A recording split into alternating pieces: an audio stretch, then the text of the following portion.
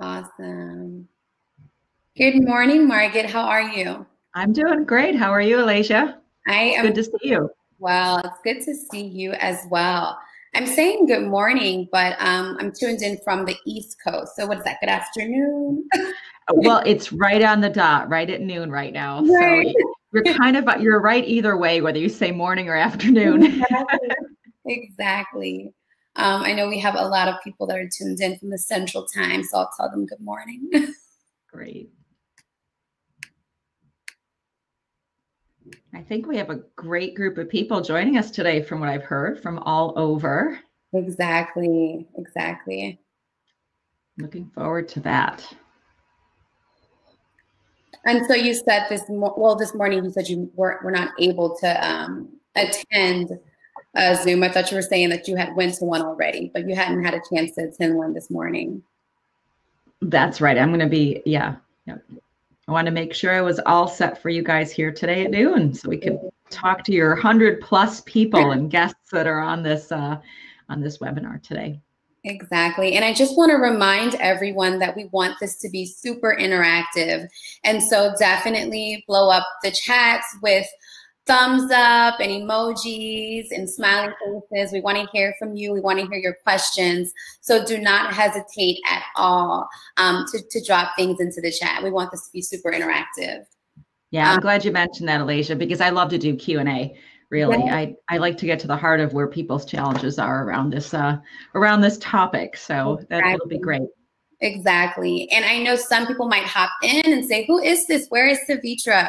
My name is mm-hmm. Alasia Brown, and I'm Resilia's community manager. I'm super ex excited to be speaking with you all, with Margit, to learn all about getting grant funding.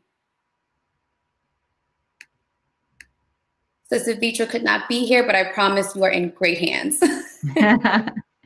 I really enjoyed my talk with Savitra not too long ago. Uh, we were chatting and just learning about each other's work and finding there's this incredible synergy between what we do and that's why she invited me today on this on this show. So I'm really excited, and uh, I'll catch up with her again later. I know she had something she had to attend to immediately, yeah. but uh, this is a nice opportunity to meet you too, Alasia. Exactly. So we'll have some fun this next hour. Yeah, absolutely. I was telling you before we hopped on, I was able to dive into your course, um, into your website. And as I was going through all of the amazing links and, you know, education and knowledge that you had, I was like, well, I wasn't planning on writing a grant, but now with all of this help and support, I might be leaning towards it.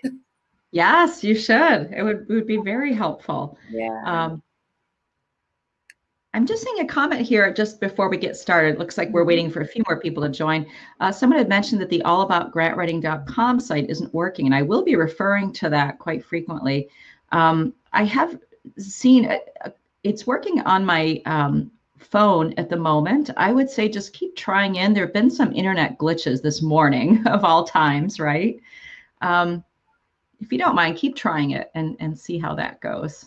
Absolutely. There we go. Oh, it just worked for Sarah. Yeah, exactly. HTTPS. Got to do the old fashioned. Good. Thank you. Awesome. And so we're about three minutes in. Carrie gave us a thumbs up, so it looks like we're working, which is amazing. Um, we're about three minutes in, so I say let's go ahead and get started. Um, as people are trickling in, I just wanted to introduce myself one more time. Um, my name is Alasia Brown, and I am the community manager at Resilia. Here at Resilia, we are empowering the people, changing the world. And we're so excited that you're able to join us for office hours, where we meet with nonprofits, leaders, and operational leaders, um, where they just come here to share actionable advice on how to increase your impact. And so today we are joined by Margit Brazda Poirier. I'm so excited to have you here with us. Um, and I just have to get into your bio before we get into the questions because you have accomplished so many amazing things. And so it's only a fair that I, I read off of that list. Um, and so Margit Brazda Poirier is the owner and founder of Grants for Good. Um, Margit created the company in 2009 to help nonprofit organizations and businesses find and get grant funding. She is one of only 350 nationally certified grant professionals and one of only 20 approved trainers in the US. Margit and her team have written and received millions in grants from government and foundations. And she has a very unique perspective of understanding both grant seeking and grant making, given her experience leading a prominent New York foundation. Um, Margit's passion is teaching others about the power of grants through her online course, all about grantwriting.com. Welcome, welcome, welcome, Margit. To Thank you. Hours. Thank you, Alasia. I'm really excited to be here. As you know, as I was saying earlier, um, I connected with Savitra a quite a few weeks ago, and we were so excited to find out we had our missions overlap. They were similar. Uh, our, our passion is to help nonprofits achieve their mission. That's why we do the work we do. So I'm really excited to be here because we just do it a little bit differently. My focus is completely on helping uh, nonprofits and businesses get the grant funding they need to achieve their mission. So, so yeah, I'm happy to be here. Thanks. You we're so excited to have you. And I'm just going to jump right in because I know you have so much knowledge to share with us. Um, so, Margit, you've served on both sides of the aisle in the grant making space.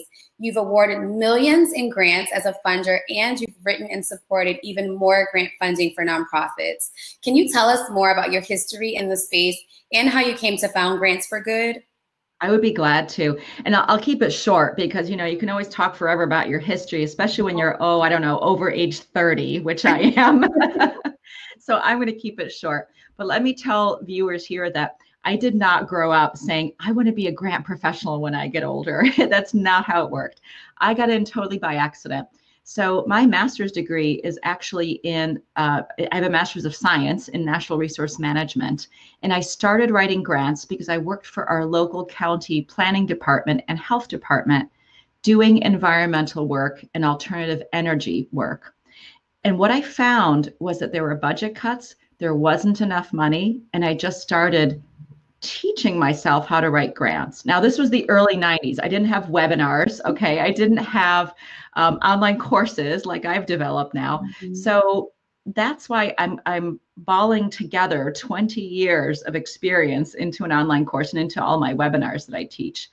But that's what got me started in grant writing. Now, fast forward many years forward, where we adopted a, a little baby boy and realized, you know, I kind of need to be home more. Yeah. So I had been working for a foundation as an executive director for several years. So I learned what it was like to give out grants, to be on the other side of that.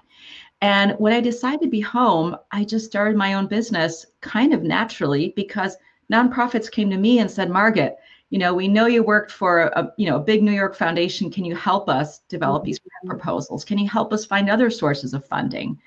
And that led to Grants for Good. And now we're uh, 11 years later and working with thousands of clients all throughout the country. And it's it's just been very rewarding. But the reason I tell you that I didn't learn, that I didn't intend to enter this field is because everyone watching today, everybody listening can do this.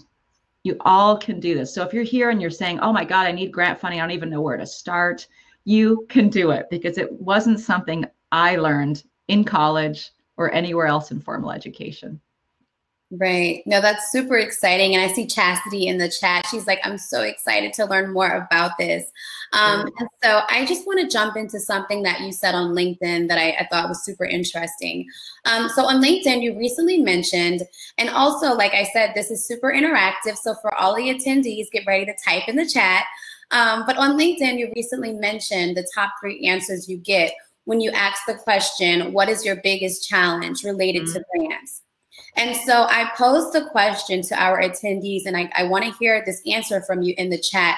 What is your biggest challenge related to grants? Um, so feel free to answer that question. And Margit, as the attendees are answering this question, can you let us know the top three answers that you usually get when you ask that question? And can you also offer the feedback um, that you give when, when you answer this question? Yeah, I'd be glad to. So, you know, as a business owner of, of Grants for Good and with my mission to help nonprofits and businesses, I want to learn from from my people, from my audience. What are they thinking? What are their biggest challenges? So I ask. And uh, just as recent as this past summer, I asked everybody who is on my email list and in my Get the Grant Facebook group, I said, what is your biggest challenge with obtaining grant funding for your organization? And I took all the results, we tabulated them all, and I'll tell you, I boiled it down to three. And the very first one, I would say the number one was I'm a newbie. I don't even know where to start. I've heard there's grants out there. I don't know where to start. Um, and so for that, what I recommend is I, I have a cure for that. and the cure is um, I have a 10, uh, it's a short 10 page guide and it's called Seven Steps to Grant Success. And what it does is it boils down in seven steps what you need to get started, how you can possibly be ready to start to get grant funding. I know that um, uh, I, I, think Will is going to put up a link on that. You can obtain and download that free guide if you like right now or after the call. It is at my company's website, grantsforgood.com. So it's grants, the number four, good.com. But what that guide will tell you is that one of the most important things is to know that you are eligible for grant funding. And I talk all about what it means to be eligible. For the most part, though, you have to be a 501c3 nonprofit or a business.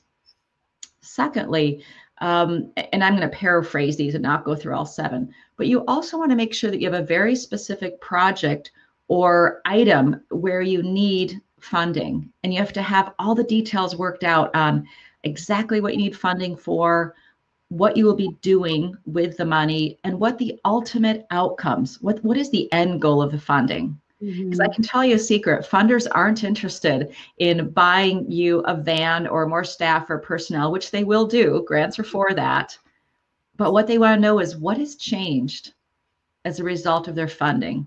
In other words, let's say you are working with a K through 12 school system that has a high rate of high school dropout and you need to do an in-house mentoring program or you want to contract with someone for mentoring then your outcome is really how is is keeping kids in school and graduating.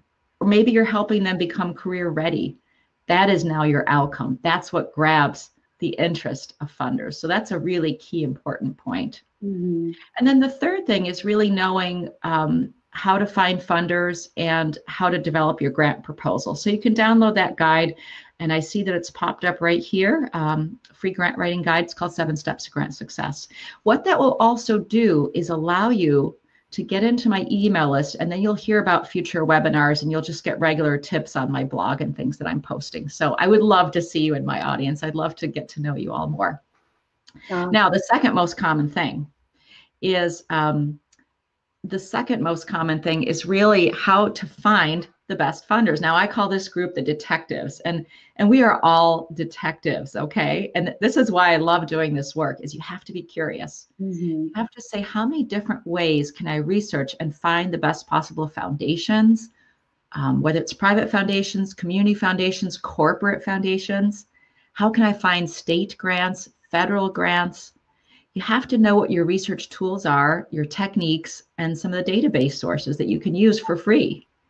And so some of those are in my guide, and I definitely talk a lot about those in upcoming webinars and also in my, my online course. So the detectives is the next big group. These are people who say to me, Margit, my biggest challenge is I don't even know where to look for funding sources. So it's my goal to help them find that. And the third really is the third one's kind of an interesting group. And maybe some of you on this call are part of this group, is maybe you are tasked with finding grants from your board of directors or from a supervisor. And it's really hard to work internally to get all of your staff on board because I'll tell you something, you can't do this alone. Finding and getting grants is definitely a team effort. So you need a team of people. And in my guide, if you download that, you'll see what kind of people I think you should have on your team. They're going to help you have that success. Um, so really that third category is the people that are struggling within their organization and educating the people around them to say, look, here's what the grant process is. It's not just a matter of calling Oprah Winfrey and saying, hey, Oprah, I heard you give out grants, you know, or contacting uh, Virgin Airlines or or Bill Gates, you know, for, for money. No, it doesn't work that well. I wish it did, but there really is a process. Awesome. And so, what is that? Three different groups the newbies, the yep. detectives, and the people who need people. I call them the saints because they try to pull everything together. Okay. I love that. To earth cats and get people together and really get it all organized. Um, but all, all three of those are are so easy to overcome. And I say it's easy only because I've been doing it for decades. And, and I literally lay out a step by step process of how to do that in my All About Grant Writing course. Because the last thing people need is to try to piecemeal together all different kinds of training. And there's lots of free training out there, um, but you have to piecemeal it together. So what I like to do, because I'm a pretty structured person, being a, a, a science major, mm-hmm. and I mm-hmm. like to structure together exactly the steps you need to go from planning your project, getting your team ready, the research tools you need to find your funding sources, and then here's the biggie how do you put your grant proposal together so that it stands out above all the competition? Because it's pretty fierce out there. Right. So within my course is actually a seven day plan to do exactly that. Awesome. And that is actually a really good segue into the next question that I wanted to ask. I wanted to start though by saying congratulations on the release of your new online course, All About Grant Writing. Um, and we know it was created to help nonprofits find and get the grant funding they need. Um, so it's an eight module program. And in your first module, you talk through the prep work. Um, a question I'm sure many of our attendees have is what does the prep work look like? What steps should one take to success to successfully, excuse me, prepare to write a grant? Good question. Um, so, Alasia, before I, I, get into that, I have a, a quick technical question. I'm seeing the uh, Get the Free Grant Writing Guide, which is great. You know, keep that up there if you like, but it's right in front of my uh, camera or my view. Can you still see me on the? I can still see you. Okay. I was able to exit out of that. And so if you see a little X, okay. feel free to click it. okay, great. Um, I, I don't see that, but um, Oh, here we go. There's a close. All right. Now I can see you and me, which is much better. you know, if we can't be in person, it's nice that we can at least see each other. I feel like we're getting to know each other this way. And uh, I'm so eager to hear from from our listeners too. Um, in, in fact, I see, oh, I see uh, Nidia saying having a hard time finding arts grants. Oh my God, great question. I, I work with a lot of arts organizations and mm-hmm. there, there is money out there for arts grants, definitely. Um, and I'm also seeing another question by Marcia, figuring out the priority because there are different deadlines for every grant, especially if it's a large grant. That is absolutely true, Marcia. Um, Charlene is saying developing a program. So what are some of the next steps? Uh, first and foremost, it's really important to get help. Now, you can do that. You can hire a grant professional like me, but I'm not here to sell my grant professional services, but you can work with a grant professional. It's just you'll need more of a budget to do that. Um, what I recommend in the immediate future is to get training because no matter what, you want to understand what the grant process is. If you do decide to hire a development director or a grant professional to work with you, you want to make the best use of your resources. And so it helps if you have a leg up and you already know what to expect in the grant writing process so that you can move forward much quicker with that person. Um, and so for that, again, download my seven step guide. But what I'd like you to start with is, is read through that, and it's going to help you start to get your team together and plan your projects. Now, one thing I would recommend doing right away is look at all the things in your organization, all the high priority projects that you have. And you might say, well, everything's a high priority. You know, everything we do is important. It all needs funding. And most of all, we need general operating funding, which general operating funding is basically the gift. It's it's you know a ten or twenty thousand dollar or hundred thousand grant that says here, use this to your best and highest purpose to achieve your mission. And that money is out there. It's not as common as specific project funding. And I talk about budgets a lot in my course because that's a sticking point that people have.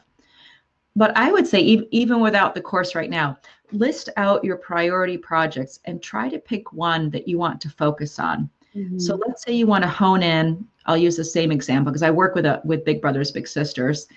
You you know, let's say you're looking to have a mentoring program in your school district. So start looking for funders for that mentoring program.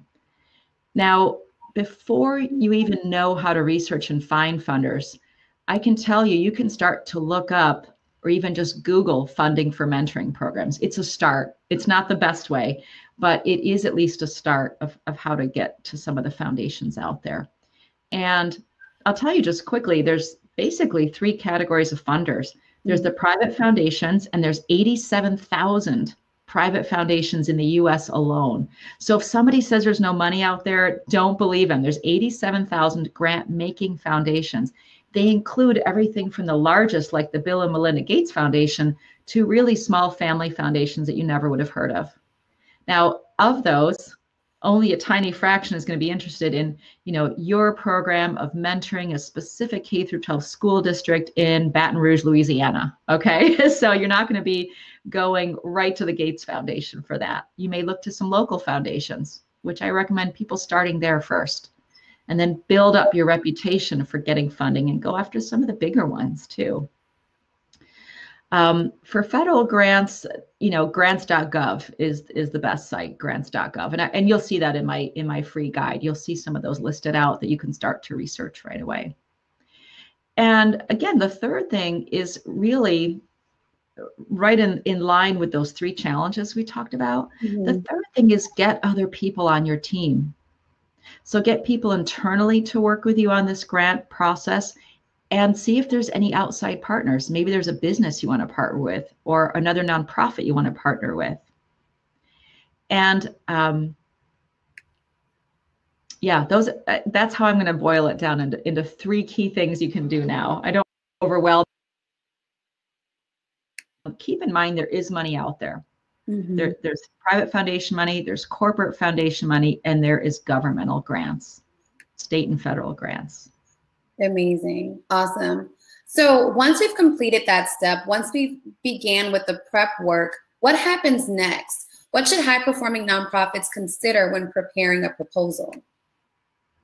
Um, can you repeat that? I had a, a, little bit of a freeze just there on your sound, Alasia. Absolutely. Can you hear me a little bit better now? Yep. Awesome. So once we've completed that prep work, what happens next? What should high performing nonprofits consider when preparing proposals? So, nonprofit, I like that you said high performing nonprofits, mm-hmm. what they should consider when preparing proposals. I'm going to just reiter- reiterate something I said earlier. The number one thing you need to consider is how your work impacts your target audience. Mm-hmm. So, I would challenge you on this call or directly afterwards take a blank sheet of paper and just quickly scribble down some key points that describe your target audience because that is who your funder is interested in. Now, too often I'll get a phone call saying, Margit, we need your help right away. We have to raise $100,000 by the end of the year or we have to lay off staff. Well, mm-hmm. I understand those challenges because right now, nonprofits are really, really struggling to keep the doors open. And I want to say two things. First and foremost, just getting money to have staff isn't going to cut it. You have to have something to wrap it around. You have to have a program that has a big impact on your community. Funders are interested in how you're going to change the life of people in your target population or how you're going to change your community or if you're in the environmental field as I was for many years, how you're going to improve air quality or water quality or the life of animals in an animal shelter. You have to tie it to a specific outcome. So that's a real key thing. And an exercise I have people do in my online course, and I, I review these with them, is I want to make sure they have a very specific target audience defined and described so that when I'm reading your grant proposal, I can completely picture who you're helping.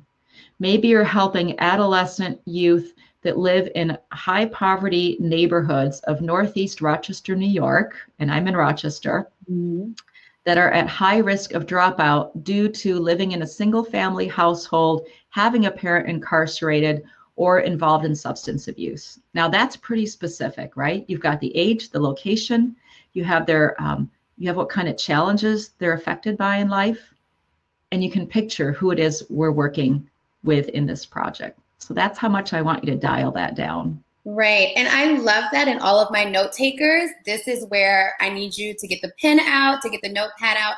Can you repeat that exercise one more time? Because I think it's super valuable um, and it's something that you can act on immediately. It is. Yeah, I'd like, I, I would challenge you to define your target audience and define them according to their demographic. Mm-hmm. So their age, their race or ethnicity, uh, define them according to their geographic location, define them according to any kind of interest they have, as well as any kind of specific challenges or problems that they're facing. because just like starting a business, you have to have a very target market. If your market or, or your community that you're helping is everyone, then you're probably helping no one. And, and I know I used to get so annoyed when people told me that, but it's the truth. You want to dial it down very specifically. You can always broaden your scope later on, but you want to get funding and show the funder you're having a very specific impact on a specific audience. Right. That's super helpful, Margit. And I always love a good story. I also love a good what not to do story.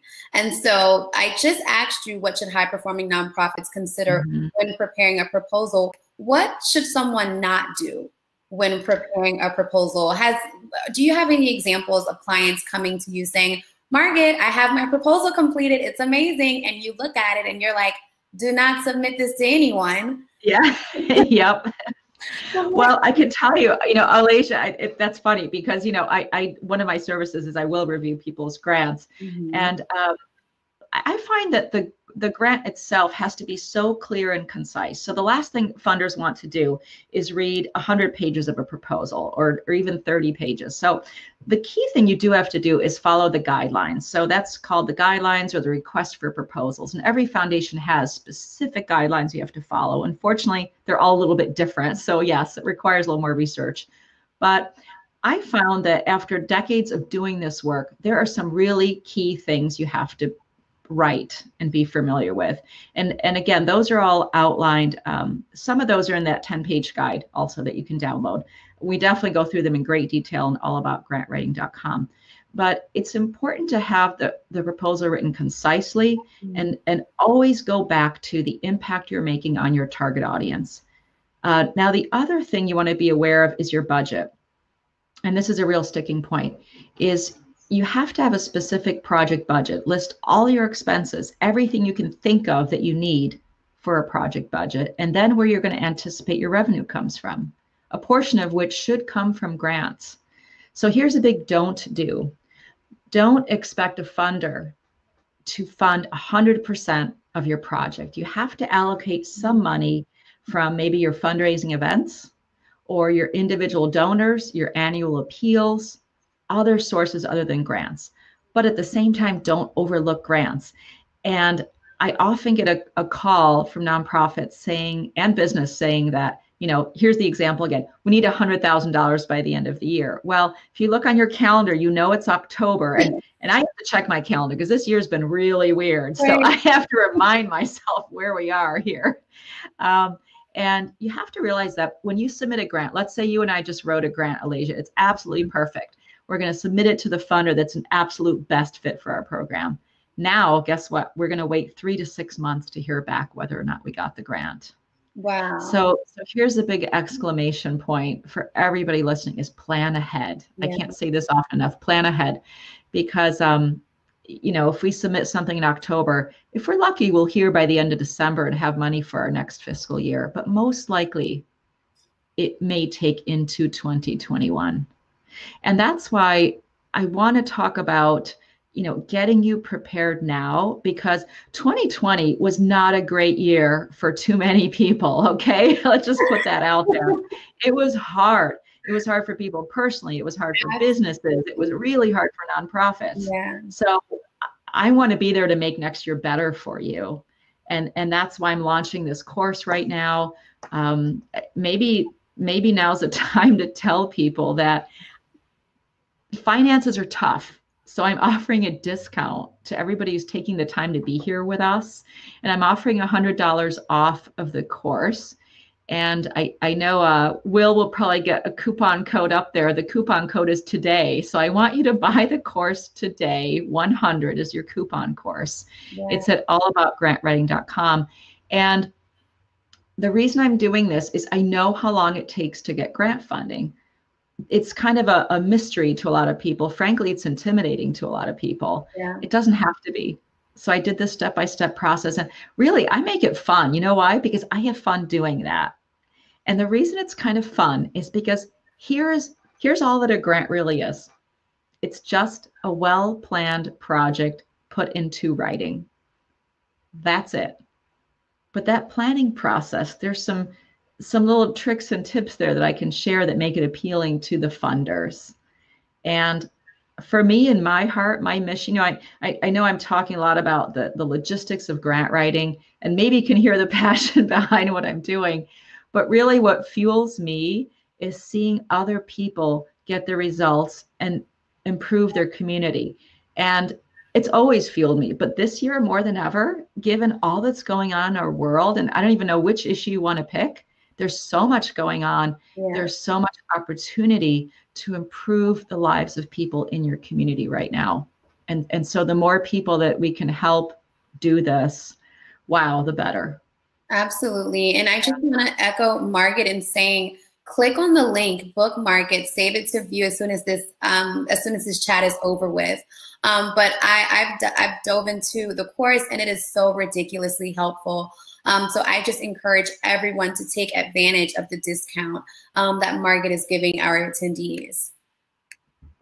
Thank you. And you know, if people have questions after, they can um, they can contact me too. My um, I should type my email in the box, uh, or maybe Will can do that. It's Margit, M A R G I T, at grantsforgood.com if you have questions still about the course Absolutely. after we're done here, or we can just address them right here, you know, at when we have the Q and A at the end. Exactly, and so yeah, that's a good reminder to get your questions prepared. Get ready to drop them in the chat because we're going to have Q and A as soon as we wrap the conversation. Um, and so just to keep things moving, Margit, once we've done all of this work that you just talked about, and we get the grant funding and we pop off our favorite bottle of apple cider, what happens next? How do we maintain the relationship? What makes for a productive and strong grantor grantee relationship? Yeah, that's a good question because we've been talking a lot about developing the grant proposal, developing the budget. And really, here's my ideal situation for my clients is that by the time we get to writing the grant and submitting it, we've already got a foot in the door and we've already got a pretty good idea that they're going to like what we do. Mm-hmm. Now, the way we get to that point is first of all, researching the best funders, which we talked about already. Secondly, contacting the funder. This is something that so many people miss. I missed it when I started when I started this work in the 90s, I thought, well, I don't want to call the funder. I don't want to be a, a pest. I don't want to be a pain to them. What if I say the wrong thing? I just wanted to get, you know, do the polite thing, write the nice grant application, send it in. Well, wrong. That's not what I want you to do. Learn from my mistake. The best thing is to find someone to contact, research their research the funder's website, um, research all their past giving that they've done, and then contact them to introduce yourself and literally give a, a two minute intro of what you do. And this is great timing. I have a blog, by the way, on grantsforgood.com that I just published called How to Say It in 20 Seconds or Less. I'm going to help you with that value proposition or elevator speech, as it's called, when you contact that funder. So check that article out. There's a formula right there. Um, but it's important to contact them first. Otherwise, you will not stand out among the hundreds or thousands of grant applications that they receive every year. Mm-hmm. And I can't tell you how stiff the competition is. Honestly, it wasn't as bad in the 90s. There's a lot of people out there right now vying for grant funds. So that's why it's important to find the best funder, contact them, and then have a really competitive grant proposal that you submit to them. I love that. And that's so helpful, Margit. Um, and I'm looking in the chat right now. Wilton just dropped Margit's email, and so definitely reach out to her. Um, he also dropped the How to Say It in 20 Seconds or Less blog post, so definitely look into that. Um, and so, just a couple more questions, Margit. Um, since March, many funders have changed their priorities. We've seen new COVID funds, special so social justice awards, and new commitments to racial equity. Is this changing the grant field? Um, yeah. Yeah. And how can nonprofits adjust to new priorities and opportunities? I'm, I'm really glad you asked this mm-hmm. because, as I said before, 2020 has been such a different year. Now, I say it's probably the best year to apply for grant funds. I, I'm thinking if there was ever a time, it is now it, it was yesterday, but it's now, it's tomorrow. Just hop on it fast. There is a ton of funding out there for organizations specifically who are impacted by COVID. Now, I think most of our listeners, viewers are probably aware of the SBA grant, Small Business Administration for Paychecks Protection Program. A lot of businesses, nonprofits took advantage of that. that funding has run out as of last August. Mm. Um, I don't know what the federal government will do with stimulus, but I wouldn't count solely on that. And that's why I think now is the time to supplement your revenue stream with grants from private foundations, corporate foundations, and state and federal grant funding. So this is perfect timing to do that. Now, a lot of my clients have applied for and received money that for COVID-19, which can be anything from purchasing PPE equipment to retrofitting their schools, their workplaces so that they're safer for having people in or having guests and visitors. Some of my clients um, have received a lot of money for really addressing the racial divide, the structural racism that is finally a, a, a little bit late, finally coming to light. Mm-hmm. And I've also had clients that say, well, Margit, you know, we don't fit into either one of those. And I would challenge you to think about that maybe you do, because I think there's always room for improvement for bridging that racial divide and having more racial equity in how you conduct business. There's always room for improvement there. And so you may qualify for some of the grants that are out there. I would also say that you probably qualify for some of the grants that are affected um, where you're affected by COVID 19 because pretty much everybody is. Right. Um, if you still don't fall into any of those two, no worries because there's tons of other work out there. Um, I, am going to go to that arts organization. I know we have someone on a call here that's having trouble finding funding for arts. Now, that's a real challenge because how does that fit into either one? Mm. Well, I'll give you an example. And I work with um, a Fringe Festival, which is a big multidisciplinary presenting arts festival in Rochester, New York, but there's also ones throughout the country. They've done two key things. They received COVID funding to make their in person festival in 2021 safer because we're already planning ahead. That's how far we plan ahead into 2021 September.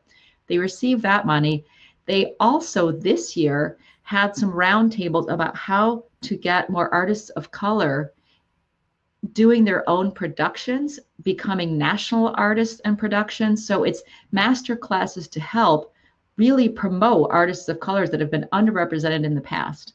And so that work is continuing too. So even in the arts, I, I feel like there's a ton of opportunity to to meet those two things, those two criteria that you just described, where there's a lot of grant funding right now. Absolutely. So it's very timely. Yeah. And Alston and Erica, don't go anywhere. We're going to get to your question. We see it in the chat. We have one final question from Margit for Margit on our end, um, and then we're going to dive into Q and A. I'm so excited for for that portion. Me too. Um, so, final question from our end, Margit. You're speaking soon at the annual Grant Professionals Association conference on the topic "What to Do When the Grant Funds End."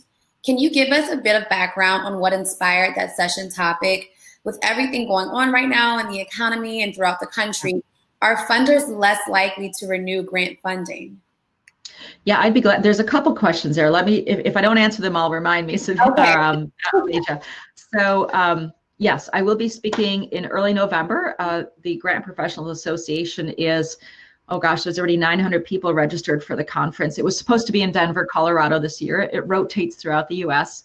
Um, but of course, we're doing it all virtual. So if you want to register, you can you can check that out. Um, it, it is in my Facebook group. I talk about it, which I'll give you a link to that too in a moment. But um, so the the professional conference, I've I've spoken at many times. This year, I want to talk about the beyond the sustainability question and what to do when the grant funds end. Now, here's why I'm doing that. Grants themselves, I've got good news, bad news here. okay, bad news first. Grants themselves are not sustainable. So let's say you and I, Alasia, we're submitting that awesome grant again. Okay, we've got the perfect funder. And in about three months, let's say at the end of December, we hear from them, we got the money. We got $50,000 to spend. We have to spend it in 12 months. After that, the money is gone. Mm. So they're not sustainable in and of themselves. That's why, for me and for my clients, I always promote a strategy where you make sure, I'll summarize it, you make sure you get at least two grants out the door every month because when one runs out, the next one's coming in. So we work pretty hard to consistently get those grants out the door. And in my course, all about grant writing, I talk about how to do that because I want you to have a constant pipeline of money flowing into the door so that you don't get to the end of 12 months and panic and say, okay, what do we do for next year? You know, how do we how do we renew this? And the good news is I have found that a lot of funders, once they really believe in what you're doing and they see your results from their first round of grant funding, you'll have to apply again, but they often support you for many years in a row. So that's the best news. That's the good news, right? You, you will get funding oftentimes many times over. You know, think about it this way it takes a while to get to know somebody, to trust them, and to know that they will take care and steward the funding you gave them responsibly. Right. And it's harder for them to find new people to fund. They're going to want to stick with you. So it's begin it's really the beginning of a very long-term relationship with the people at that foundation or the program officers at that federal granting agency, whether that's the Department of Education, Department of Energy, Health and Human Services. Um, there's 26 different federal, uh, you know, organizations that give money, so that there's lots of opportunity there. Right. Now, there's another part to your question. I want to make sure I didn't miss that. I think you answered both because the second part was are funders less likely to renew grant funding? But it sounds like once the trust is developed, that they're actually yes. more likely to renew. Yes, I absolutely. Yep, that's oh. entirely my experience. So yeah, you you answered both, and you said I have good news, bad news, but I heard more good news than bad news. awesome. Well, and it, it is out there, and and that's what I want. You know, if there's one thing I want people to leave this call with is is to kind of be excited about doing this because right. it is a fun process, and and there's rewards. I can tell you that you know people who are taking the course now because we launched back in June, they're already getting their grant proposals out and seeing the results. So for their one-time investment in the course, they have the opportunity to get $100,000 in a year and they can just repeat that over and over and over and over again. Right. So it's it's you know my mom always said get your education because you'll never lose it. I'm like thanks mom, you're right. That's why I do this for other people. You'll never lose what you learn. It's so, always there for you. So true, so true. Yeah. Um, and so we're going to jump into Q and A. Great. Everyone that's still with us, do not be shy. Now is the time to get your questions answered. Um, we're going to start with something that Alston asked earlier in the conversation.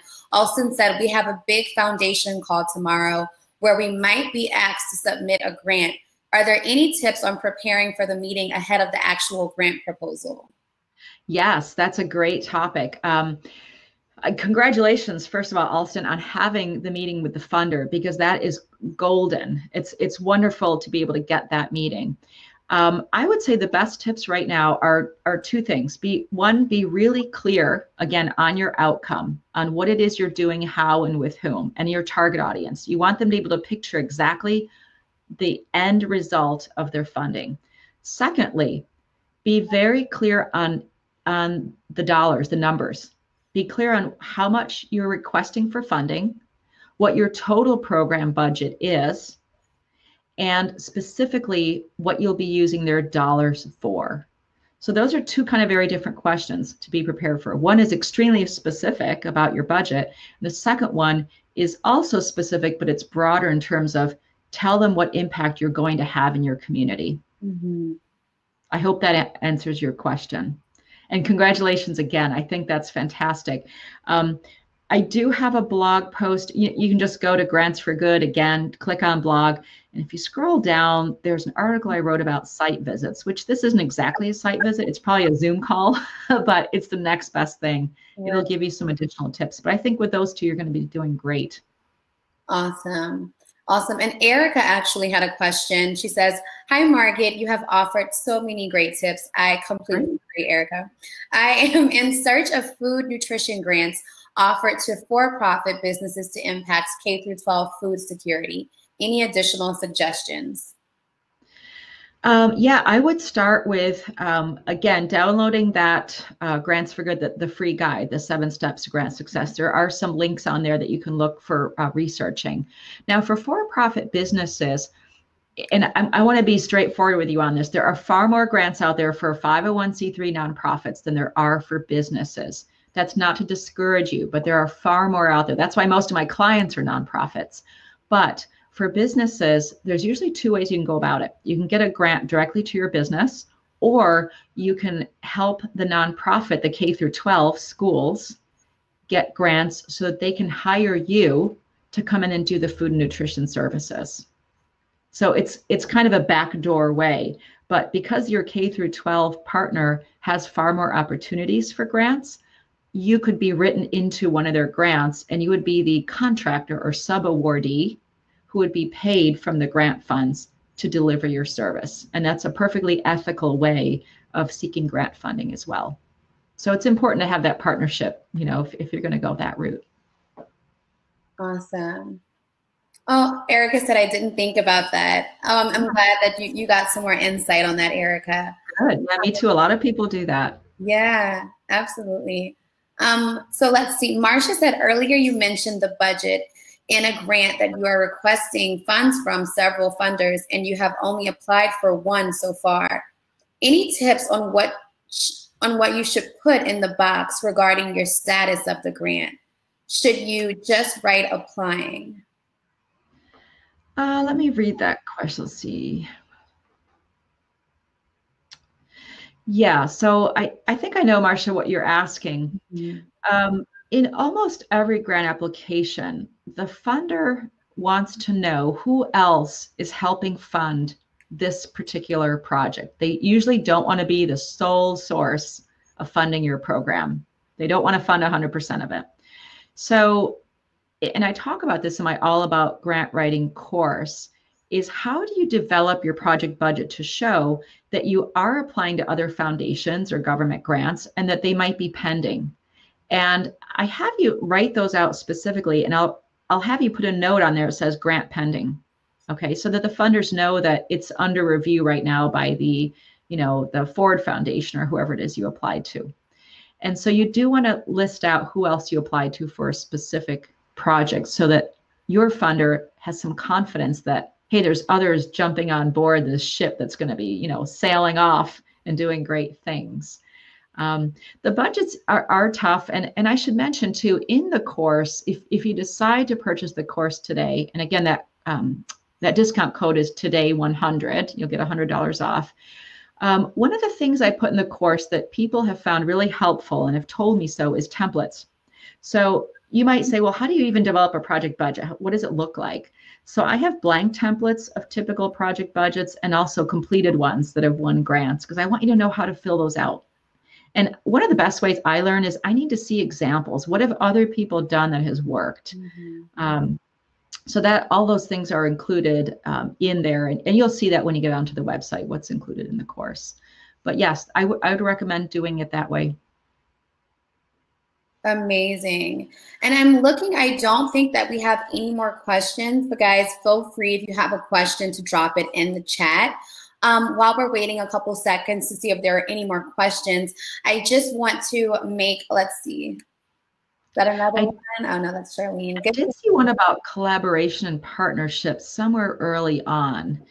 And um, I do want to address that because that's really important. So many, so many people on the call um, are, are working in nonprofits, and you're under a ton of, of time strain, right? You're thinking yourself, okay, I just saw a grant opportunity. It's due in one week, and we haven't even started. So how do we even get partners on board? Mm-hmm. Well, partnerships are extremely important in terms of showing funders that you're not working in a silo and that if you have a business you're working with or another non nonprofit or a school district that you might have a chance to make a much bigger impact on your target audience. Remember that first piece of homework? I know we dumped a lot on you in this hour, but that homework is, you know, outline your target audience. That's how you get started.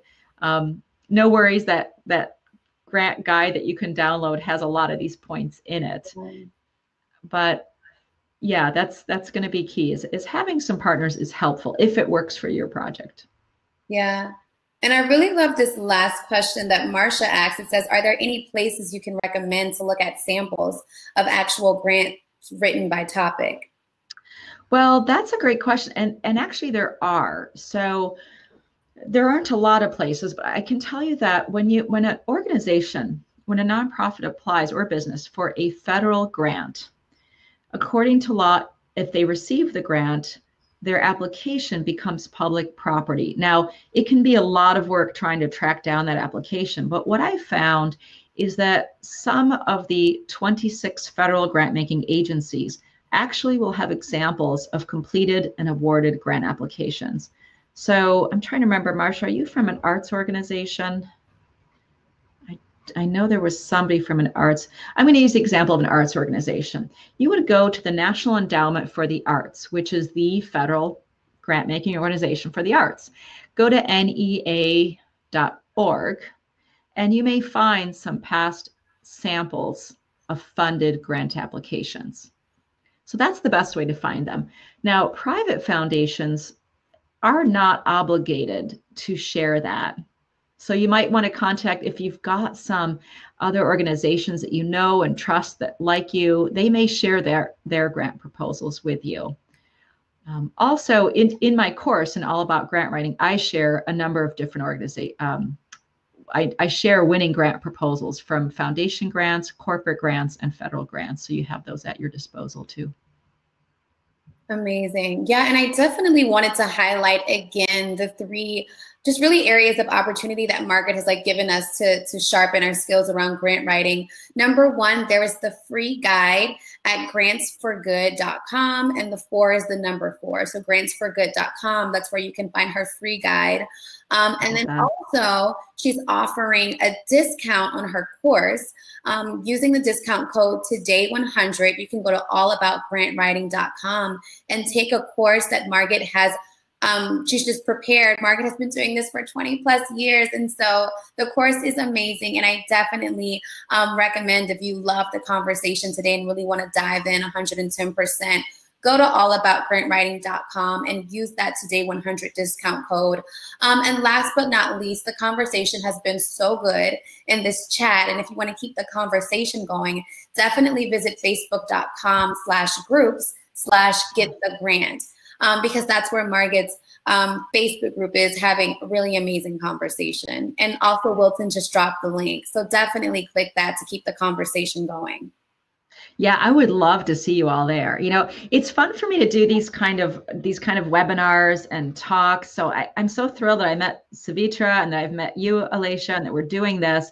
And I just find, you know, I, I want to keep the conversation going. And even if you, you say to yourself, well, I'm never going to become, you know, a, a career grant professional, that's okay. Most of the people in my Facebook group are not intending to do that. They just want to interact with others and get some free tips and insight and ideas on how to go about doing this. So what I've done in the Facebook group is in about a few weeks, I'm going to be running a free webinar that's going to really dive deeper into how to get people ready for grant writing. So I know a lot of people are newbies here. You fall into that category. Um, jump into that Facebook group, get on my email list. You will hear about the webinar. You won't miss it if you're there.